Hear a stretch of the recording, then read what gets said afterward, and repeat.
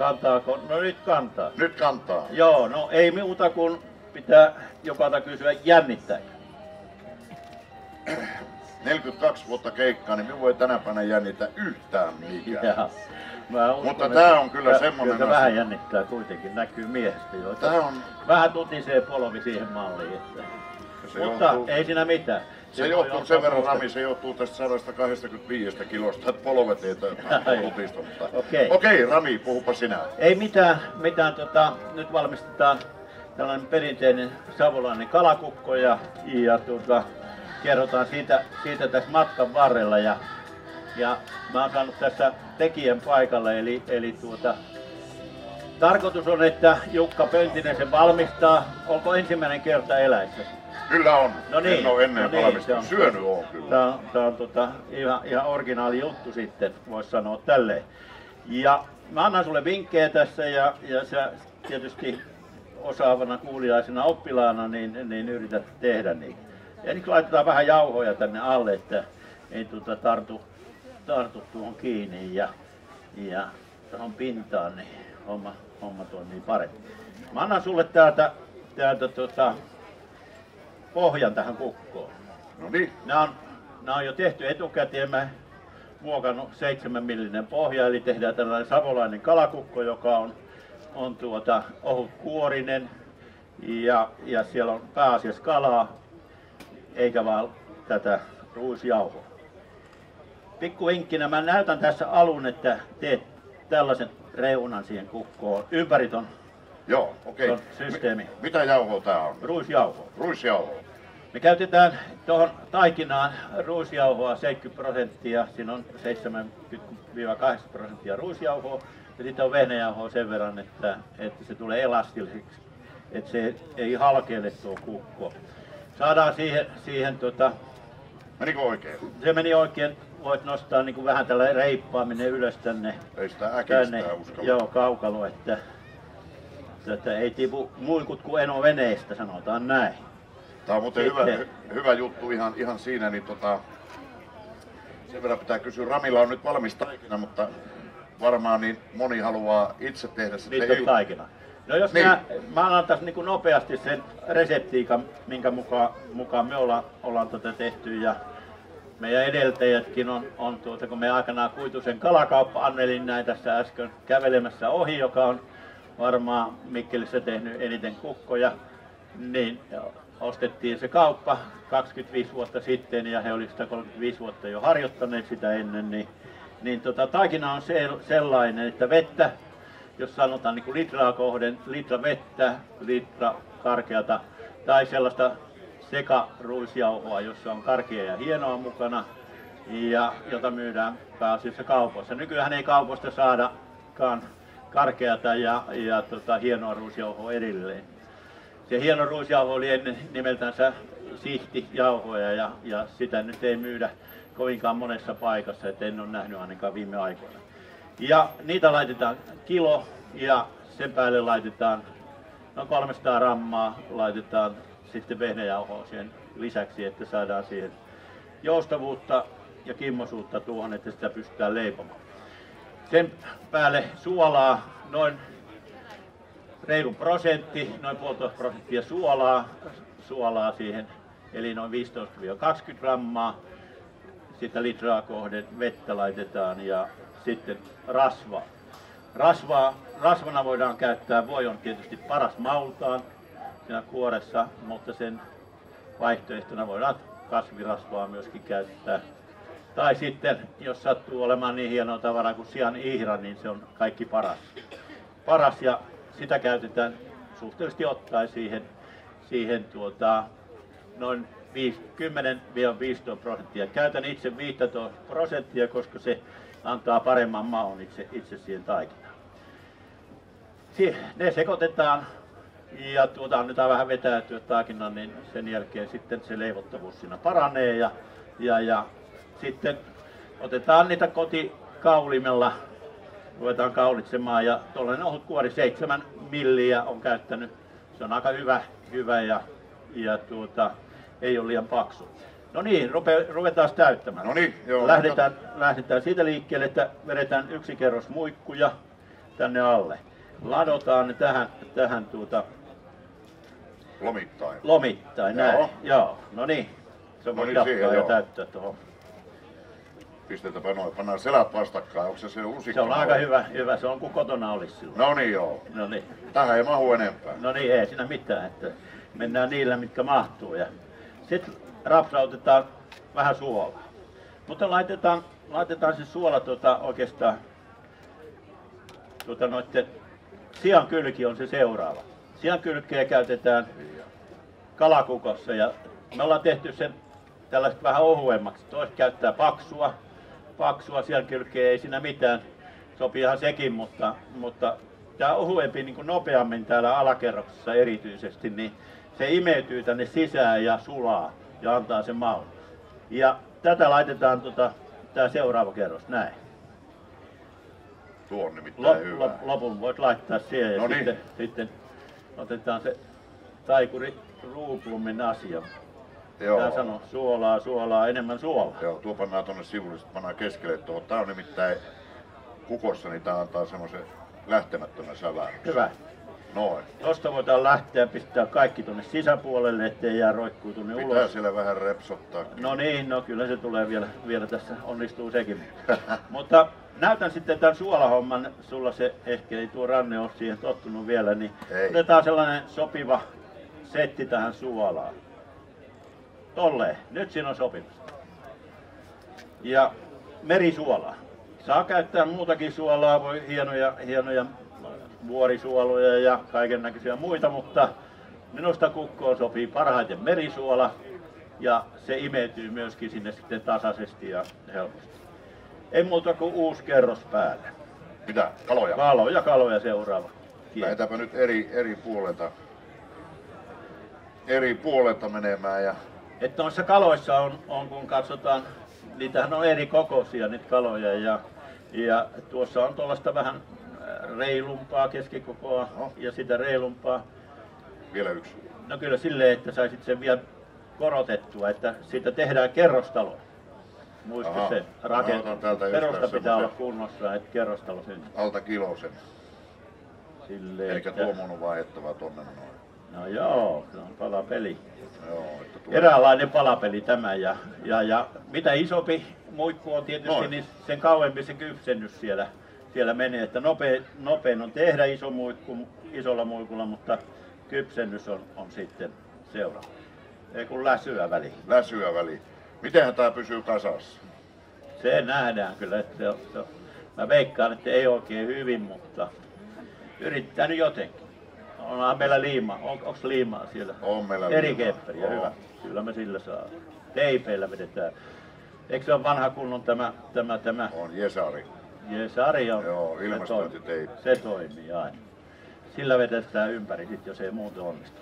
Noin. Okei, taas mentiin kieppi, kieppi yli, niin mä tuota edelleen laitan tämän suolaa. suolan, niin, niin tuota, jos, jos tämä paistetaan, niin ei me ihan nokalle. No niin, otetaan vielä. Muikkuja vielä. Vielä, vielä, ei, ei tota, lihava se pitää olla, eikä, eikä mikään luihake. Joo, mä oon lähtenyt siitä, että Laita isompia sinne sivulle, niin se nostaa nyt sitä pintaa. joo, se on tota... Pienempiä keskelle. No, mä oon lähtenyt siitä, että voitte hyvin kuvitella, että jos iso maha on tyhjä, niin se on hirveän ruman näköinen. Niin, ja sitten se murina on ihan hirveä. Joo, se murina on kauhea. Joo, siinä ei kuka huussollissa Joo. enää, enää tota, viihdy. Joo, kerrostalossa jos asun, niin se on hirveetä. Niin, alakertakin vielä on hereillä. Joo, aamu. joo aika, aika hyvä, että yhtään se kaipaa tuossa nyt. Tot, Ai vielä? Joo, kyllä, kyllä. Joo, muuten tästä tulee vähän tois puoli. Noin, No nyt, kiilaa alle. No laitetaan lihkoa vielä. annako vielä lihaa? Laitetaan lihaa vielä yksi kerros siihen päälle. Sitten ruvetaan katsomaan, että löydetään, Tää. löydetäänkö me sellaista kantta, millä me saadaan vähän sulettua. Ilmastointiteipillä. No se se on joo. Vanha kunnon ilmastointiteippi toimii tässäkin, että se jättää vähän sellaisen ikävä, ikävä vähän muovisen maun, mutta muuten se on kyllä, että voihan sitä aloittaa alapuolelta syömään sitten, että jättää se teippi viimeksi. Noin. No niin, aika, aika hyvä, hyvä tilanne on tässä ja pistetään suolaa sille, että tulee tulee tasainen kerros. No niin, Tähän mennessä tuo on sen näköistä, että tota, niin, tuota voisi ihan kokeilla kotona ja tehdä. joo, tehdään tuolla muotti kokoon, vähän tuolla ovaali, ovaalin muotoinen ja katsotaan onko meillä päällisiä. Päällisiä vielä siihen No heitetään. se ei ole, se ei ole yhtään pahitteeksi, vaikka yksi on. On vähän aavistuksen on tuo paperi kuivattanut sitä, mutta meillähän No niin. kons, konstit on monet sano, miten torventekijäksi se oli, vai kuka se oli? Kissa on mummulla pöytää. No, miten se meni? Niin, niin. just joo. Laitetaan vähän vettä tähän, niin, niin tuota, kun on vähän kuivunut tuo pinta, niin tehdään tälleen, tälleen tota, ei tuota. Ja nyt, nyt meidän pitäisi venyttää tuo koko, eihän tuo mitenkään riitä. Ei millään Se tavalla. on liian iso kukko sulla. Kukko on sopiva, mutta kans on vähän liian. No, voi ei. Mutta ei Vedetään, mitään. ei Levitetään. mitään häti, levitellään vähän. Niin, pitää vähän, vähän tuota, katsoa vähän tuota tänne lisää tätä. No niin. Levitellään vähän, tuolla pistää vähän tuota nestettä, niin se ei, ei rupea lohkeilee tuo taikina niin paljon. Et se kuivuu aika äkkiä tuo ruistaikina ja silleen täytyy olla vähän, vähän tuota siinä, siinä tarkkana sano. Tuo on ihan hyvä. Kuinka moni teistä on tehnyt kalakukkoa? Hei. Kaikki on tehnyt ja jokainen on syönyt. Kaikki on siellä. Oliko siellä kuka, joka on tehnyt kukkoa? On täällä näitä mestareita, joo. On, joo. on, on, on. Hirmu määrä. Me ollaan kuule oppipoikia kuule vielä. Minä en ole tehnyt, mutta me on kyllä syönyt ja on, Joo. on hyvä herkku. Meinaskohan, että onnistuskohan tuo kohta, että tuohon Kyllä päälle. se nyt alkaa olla Aika lähellä. hippeimmillään. Mutta No, näköjään no. lohkea aika herkästi, jos se... Ruisia on lohkea, lohkea ja sen takia niin... Sen niin takia tota, siihen pistettiin sitä vehnää sekaan, Joo, että se joo, kyllä. sitkova tulee. Sitkua tulee ja, ja tota, laitetaan nyt vie, vielä tota, Tää on vähän niin, me tehtiin kyllä vähän iso kukko, että kyllä me oltiin vähän suuruuden hullu. Ei, no se hulluja, pitää mutta- ollakin, kato, meillä ei No ole mitään on, pientä. mutta kansi pitää olla, kato ne kuitenkin Joo. mahtua päälle. Joo. Ja tässä mä nyt vähän, vähän avittelen. Käännetään se kansi tonne alle, alapuolelle. Ja, ja tuota, laitetaan, laitetaan kalat kaikki sinne ja lihat myöskin. Ja ei muuta kuin muokataan sitä. Tämä on vähän tällaista taiteilijan työtähän tämä on tääkin. Oh. Jos tulee isompia reikiä, niin isomman reijän aina, aina voi paikata niin kuin taikinalle. Laitetaan vähän vettä ja, ja tota, pistetään taikinan paikka siihen. Näin. Tuossa oli pieni reikä, niin laitetaan tällainen paikka tähän niin päälle. Ja se voi, voidaan tota, vedellä, vedellä tuohon liittää tuohon kuoreen. Huomaat, Joo, homma toimii jotenkin. kyllä joo, tuo tuli ihan tasainen hyvä. Siinä tulee pikku arpeen niin kuin poskessa on. Ja Joo, niin kuin tulee vähän meillekin. niin on näitä, on, näitä on matkalla tulee ja ei muuta kuin käännellään se tuonne ala, alas tuota kukko ja kuori ja pistetään noin, noin pakettiin. No, noin. Ja sen jälkeen on, on tuota, ei vielä laiteta uuniin, tehdään tähän pikkasia tällaisia reikiä, lasketaan ne, että höyryt pääsee sieltä ulos, kun kukko rupeaa kypsymään, niin se kuumenee ja siihen tulee, tulee painetta sinne sisään, niin ne höyry pitää päästä ulos sieltä ja, ja, ja sitten. Ja kukopaistossa sen verran, kun mennään nyt eteenpäin, niin, niin, niin. Nyt, nyt tämä pitää laittaa uuniin, 20 minuutin kuorutus, noin 200 asteinen uuni, ja kuorutetaan, että se pinta tulee napakan kovaksi. Ja sen jälkeen tiputetaan lämpötilaa, voidellaan siinä välillä, sillä voisulalla tai, tai öljyllä, millä nyt itse, itse kukin haluaa sen tehdä. Ja sen jälkeen sitten tiputetaan lämpötila 150 asteeseen ja kaksi ja puoli tuntia. ja kerran välivoitelu siellä. Sitten tulee, rupeaa tulee tästä kukosta jonkin verran nestettä sinne paistoalustalle ja se voidellaan sitten pensselillä siihen takaisin ja imeytetään, niin, niin saadaan se maku, maku kaikki takaisin tuohon kukkoon ja tulee hyvä lopputulos. Muikkuissa on eroa, eroa sanotaan eri vesistöissä, että se, se te huomaatte, että esimerkiksi tälläkin alueella puulaveden muikku on kaikki kovin ruodoltaan ja vaatii tuntia pidemmän kypsennysajan, noin kolme puoli tuntia on puulaveden muikku. Saimaan puolen muikut, muikut ovat kaksi ja puoli tuntia keskimäärin, kun on pehmeitä sen ruotoja syötävissä. Muikku pitäisi nauttia tietysti, se on parhaimmillaan silloin kun te otatte uunista, annatte sen vetäytyä siinä, siinä voi sanoa vaikka tunnin verran, jonkun heitätte siihen jonkun esimerkiksi pyyhkeen päälle tai muuten, annatte vetäytyä ja sen jälkeen rupeatte syömään ja voita nokare päälle ja ehkä jotain juomaa. Ja oliko se piimä? Piimä oli nimenomaan. Niin, niin nyt. Eli, No niin. eli tämä lähtee tammosena, tämä ei tule mitään peittoa tähän Ei, päälle. ei tule peittoja, että on, on tota koulukuntaakin, joka käyttää, vetää sen, vetää sen tuota peiton päälle, eli, eli tota, laittaa siihen, siihen tuollaisen tuollaisen polion ja, ja, ja uuni haltuun. Mutta minusta niin siitä tulee parempi siitä kuoresta, kun siihen ei laiteta peittoja.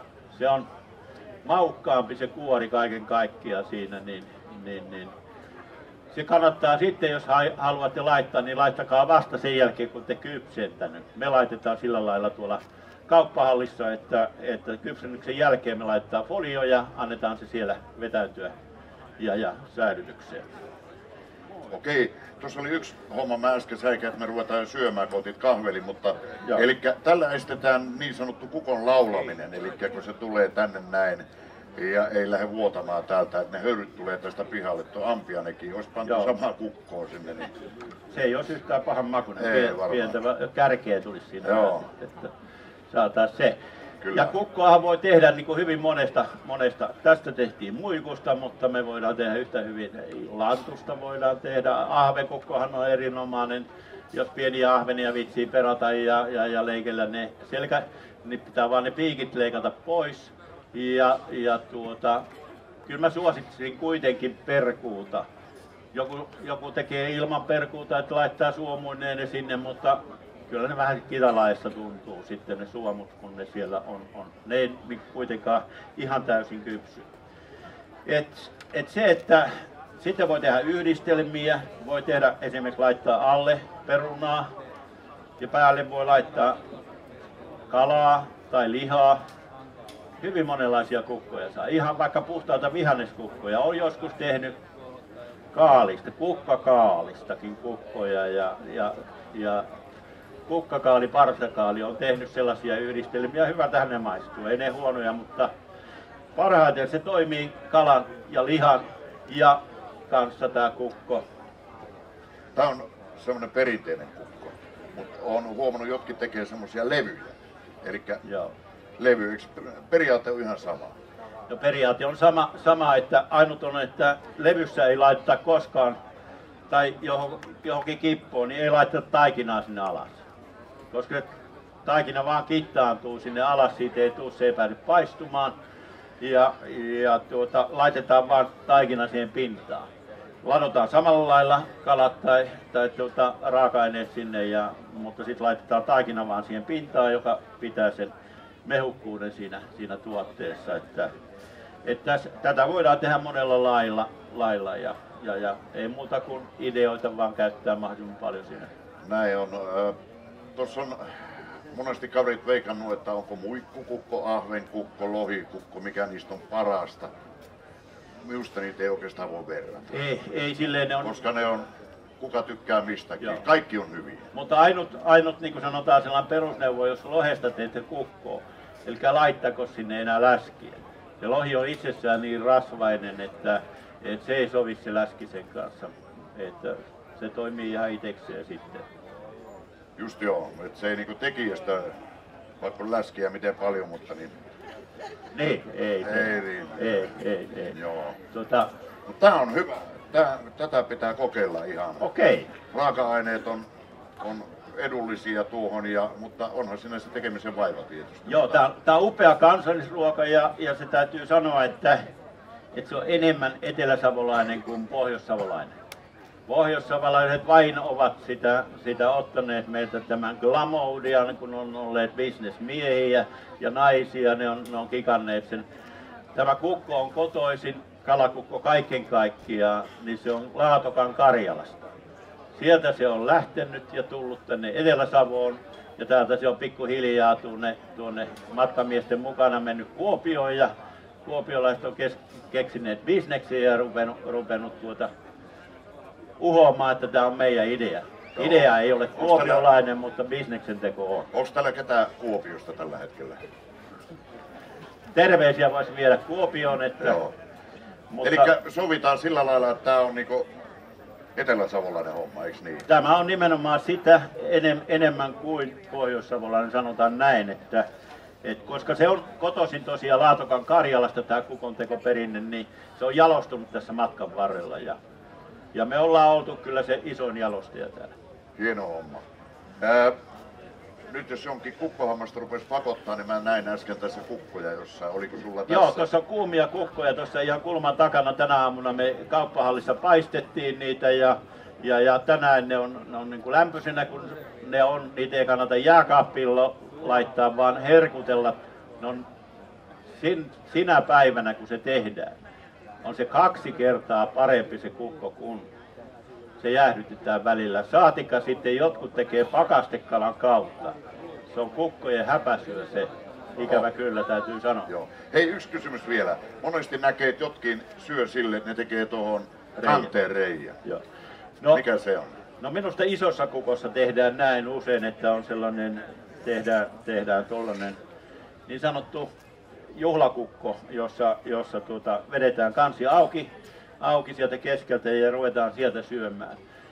Näin se tapahtuu, mutta tämän kokoiset kukot, jotka on, on niin sanottu pikkuperheelle, eli kahe, kahdesta Joo. kolmeen, niin, niin, niin. Johan tuo menee itekseen. tuo. No niinhän se on jo välipalana, kun käy, käy, käy hakemassa jääkaapista juomaa nyt Piimää. kisojen aikana. Piimää. ennen kaikkea. Ja tohon voita kyytipojaksi, niin muuta ei tarvii. Vaikka kuinka niin kun sanoo, että joo, että mä en syö rasvaa, niin tässä nyt olisi se voi olisi paho. Oh.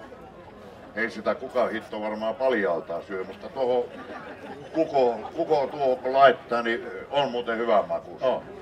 Se ei, se ei oikeastaan tarvii. Samoin muikku, jos ottaa muikku, peruna, piimä, ruisleipä. Ja eikö ikkunat auki alkaa syömään. Kaikki on niin kohdalla, eikö niin? Kaikki on kohdallaan ja, ja muikku on halvin raaka-aine. Mun täytyy sanoa, että se on lohi, vaikka se on lohikala, se on Euroopan halvin kala. Euroopan halvin kala. Eilen kuulin, Näin se vaan on, että, että mä oon aina ihmetellyt, kun ihminen tulee kalakauppaan johonkin ja sanoo, että on, oi, oi, tuo on kallista, tuohan maksaa 6 euroa kilo. Mutta mitä suomalaista lohikalaa saa 6 euroa kilo, joka on pääosin syötävää. Siinä on hävikki pieni ja, ja sitten, sitten muuten, muuten tuota, sitä on riittävästi täällä.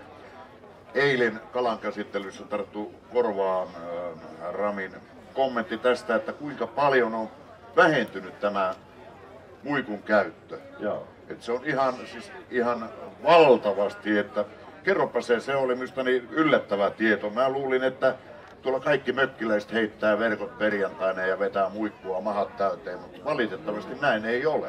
Kyllä se, se on ikävä kyllä, että tällä hetkellä niin se käsittely, eli perkaus, muikun perkaus tuntuu olevan se kynnyskysymys ja aiheuttaa valtavan ongelman. Ennen, ennen jos me myytiin esimerkiksi torilla, voi, voi olla, että viikonvaihteessa myytiin 30 laatikkoa, se on 300 kiloa muikkua. Jos myydään tänä päivänä, me ei olla nyt torilla, mutta kun ollaan tuolla kauppahallissa ollut, jos myydään viisi laatikkoa, niin se on aivan loistava. Tässä on se ero, aivan valtava ero.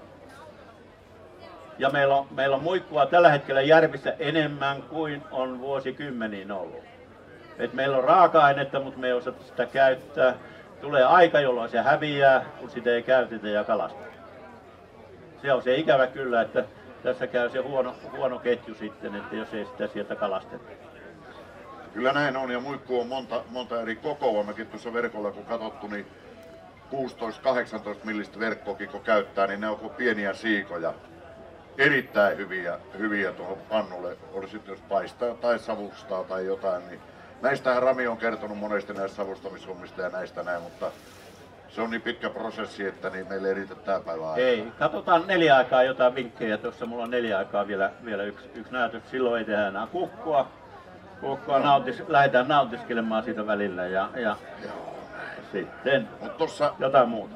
niin kuin Rami sanoi, niin tuossa on niitä lämpimiä kukkia. Niin on tuossa nurkan takana, mitä paistettiin kauppahallissa tänä aamuna. Joo, Että minä en ollut paistamassa Nämä- enkä tekemässä. nämä, nämä jäi siitä paistosta mulle niin kuin nämä taikinat ja vähän kalaa tähän. Niin.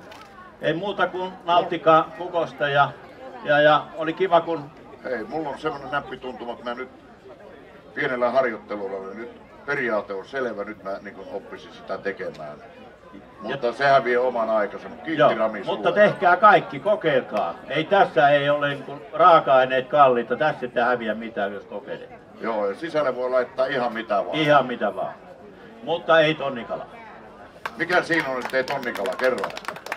Siksi, koska meillä on paljon parempaa kalaa täällä kotimaassa, niin ei huonompaa kannata laittaa. Ja se on Ei kalliin- missään Huonompaa ja kalliimpaa. eikä- mulla tonnia sitä patsi oo. Joo. Hyvä, kiitos Rami. Rami pitää aina näitä loistavia, loistavia esityksiä. Minä olin tässä vaan nöysipoikana. Tuo muuten veikeitä tuo ruisjauhos tarttuu käsi aika milkkäästi. Ruisjauho tarttuu käsiin ja, ja silloin kun sitä koostuttaa. Et, Joo. et se on myöskin siinä taikina on silloin valmis, kun se ei enää tartu käsiin. Se on sopiva se jauhomäärä. Oikein hyvä. Ja Rami sanoi viime viikolla, että muista pestä käet ne esitystä, niin Niin. mä pesin ne tässä yhtenä päivänä. Kun... Eikö tässä kuitenkin nyt on, ollaan elokuun loppupuolella? Kyllä, kyllä. No ei, ei ole iso riski tässä, koska me Ei. paistamme tuotteen yli sataan asteeseen. Myöskin sinun jalostetut bakteerit siinä kuolevat. Sitä minä pelkäsin jo. Oikein hyvä, mutta hei, meillä on ohjelmaa jatkuu, täällä on kaiken näköistä, mutta nämä on loistavia, loistavia juttuja. Hei, annetaan Ramille aplodia vielä. Kiitos. Kiitos Rami tästä. Kiitos, kiitos. Oikein hyvä. Tänne jäi muikkuja vielä ja jos joku haluaa, jos tulee samanlaisia kysymyksiä kuin mulle, niin kysykää Ramilta. Sulla on jauhoa vielä poskessakin täällä näin. Se on kato vähän esteenä, ettei naiset ihan ryntää. Ei kuka tuu nuoleskelemaan kato ruisjauhoja poskesta. Okei, tuosta noit muikkuja, mutta niin... Nyt mä heitän tän Essun pois, ettei tää unohdu minun päälleni.